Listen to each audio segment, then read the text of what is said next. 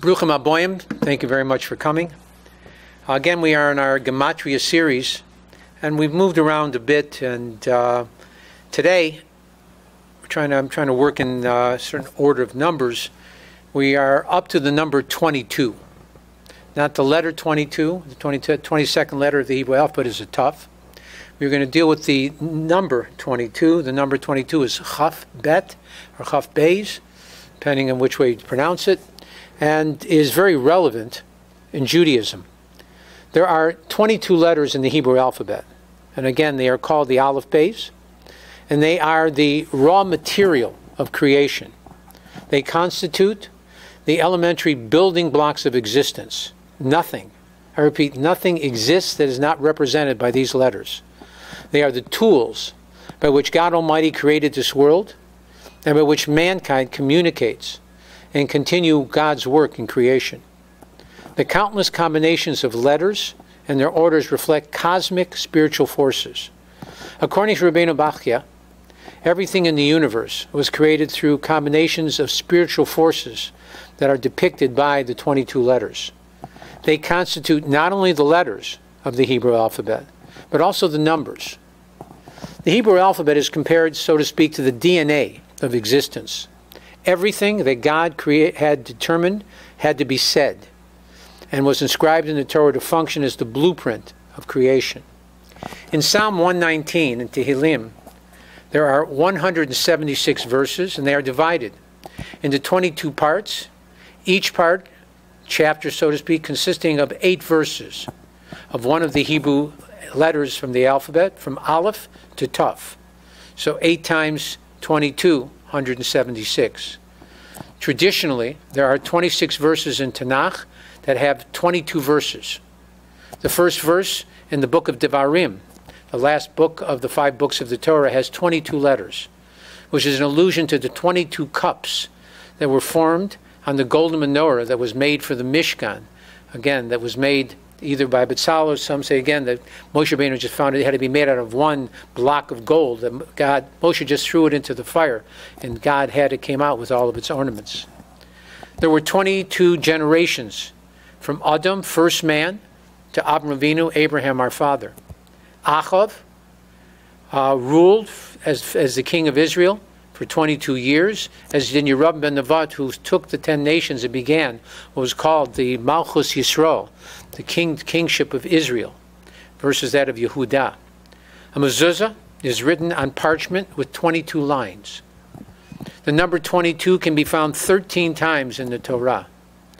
When the tribe of Levi was exchanged for the firstborn, there after the sin of the Egel of the golden calf, there were 22,000 Levites who were not firstborn.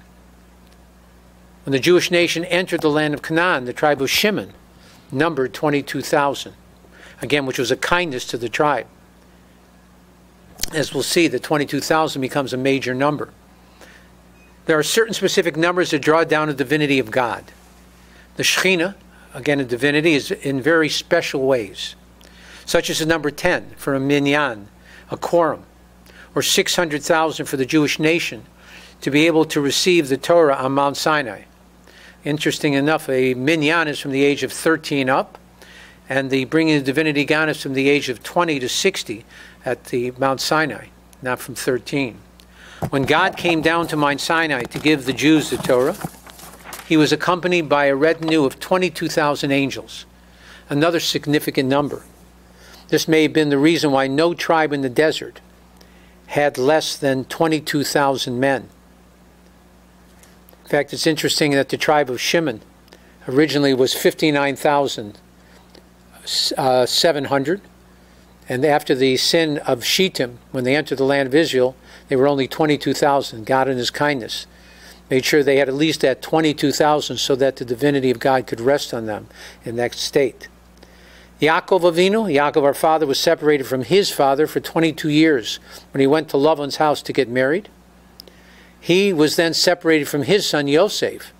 Again, Mida Keneged Mida, tit for tat, for 22 years, when Yosef was sold by his brothers to Egypt. He did not have an audience with the Shekhinah, Yaakov, for those 22 years, since he was in a state of mourning.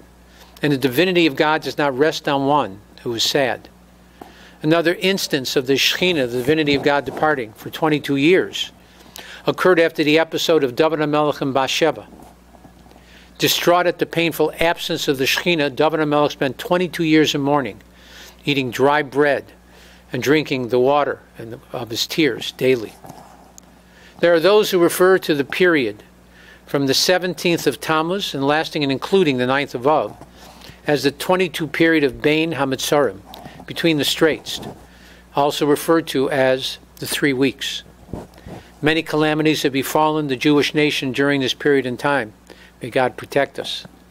Conversely, there is a corresponding period to make amends for these 22 days of destruction during the Bain Hametzarim, and they are the 22 days beginning with Rosh Hashanah, the Jewish New Year, the first of Tishrei, and culminating on Shmini Atzeres, the 22nd day of Tishrei. Again, what many people may refer to as the end of Sukkot, which symbolize a time of recreation that taps into the 22 Hebrew letters as the building blocks of creation. In the morning blessings of the Shema, the prayer, Kel Baruch Gadol, again, Kel being the name's God, which is, we switch with a Kuf instead of an Aleph, and follows the alphabetical order and does as does the prayer we say in our homes every Friday night to our wives, written by Shlomo Melech, Eshes Chayil, a valiant woman. Rav Chaim Volozhin states that the 22 letters of the Torah in Vidui, in the confession, are intended to arouse the heavenly root of the soul that is tied up and dependent upon Torah in order to cleanse and sanctify the soul. This prayer states specific sins that we may have transgressed as individuals and as a nation. Now, when we, when we are reciting this prayer, what we do is we hit our chest with each word, Hashamnu, Boganu, Gazalnu. We also have in mind that we're repenting from all sins. Not everybody knows the translation to the words or understands them. So what we do is we have in mind that we're sinning and repenting from all sins that begin with an aleph. All sins that begin with the beis, all sins that begin with the gimel. So this way a person is able to connect to all the sins that he may have transgressed. And again, this prayer is said in the plural. We are one body as a nation. So if your toe hurts, your body hurts. So if one person sins, that's still the nation that has sinned, the whole body. And we also have to be a part of that. There are many prayers on Rosh Hashanah, Yom Kippur, and other festivals that follow the alphabetical order. Again, much like the Al Chetz on Yom Kippur. They are used to denote the comprehensive glorification of God. In the Hoshanas, recited on Sukkot and on Hoshana Rabbah, the 22 letters encompass all manner of divine salvation. Any deviation from the alphabetical sequence automatically means that something is amiss, and there is something for us to learn from the omission, such as in the Ashrei, the Psalm 145 where the nun is omitted since it alludes to a descent, something negative. In all but the concluding chapter in the book of Eicha, Lamentations, the verses are arranged in alphabetical order. Due to the Jews violating the Torah composed of the 22 letters, their retribution of destruction and exile was recorded using all 22 letters of the Hebrew alphabet. May God Almighty open our hearts and our minds to be able to use these 22 letters of his alphabet to help usher in the period of Mashiach Tzidkeinu quickly and in our time. I want to thank you very much for coming. God bless. Be well and have a good Shabbos.